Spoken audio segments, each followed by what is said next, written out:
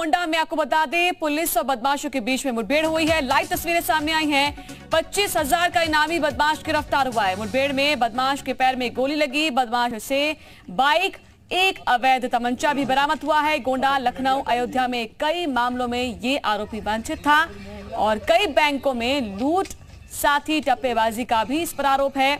नगर कोतवाली इलाके में लखनऊ रोड के पास मुठभेड़ गोंडा में नगर, कोतवाली पुलिस और एसओजी की टीम को बड़ी सफलता हाथ लगी है। दो तस्वीरें हम आपको दिखा रहे हैं। मुठभेड़ के दौरान जो है, पुलिस ने पच्चीस हज़ार के इनामी बदमाश को गिरफ़्तार कर लिया। इनामी बदमाश राम उजियार को गिरफ़्तार किया गया है। मुठभेड़ में आरोपी के पैर में गोली लग गई और जिसे जिला अस्पताल में इलाज के लिए भेज दिया गया है।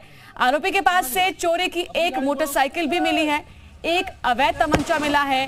कारतूस भी बरामद हुआ है। आरोपी गोंडा लखनऊ, अयोध्या ज़िले के कई मामलों में वांछित था।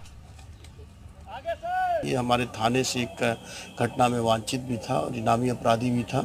इसका अभी जो प्रथम दृष्टिया जो जानकारी की जा रही लगभग एक दर्जन मुकदमे हैं और टप्पेबाजी और लूट में ये अंतर्राज्यीय घटनाओं में वांछित रहा है और इसको अभी इससे और भी पूछताछ की जा रही है। फ़िलहाल इसको इलाज के लिए जिला अस्पताल भर्ती किया गया है और ये पुलिस टीम के द्वारा एस के द्वारा एक सराहनीय कार्य किया गया है। इसकी सर मतलब सराहनीय कार्य कोई इनाम दिए ये इनामी अपराधी है पुलिस टीम के लिए खूब पुरस्कार दिया